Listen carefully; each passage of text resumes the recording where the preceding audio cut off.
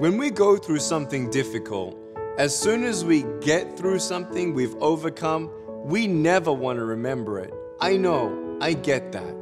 But as I've traveled around the world and sharing my story, what I've realized is many people get to relate to the emotions I had when I was going through something difficult.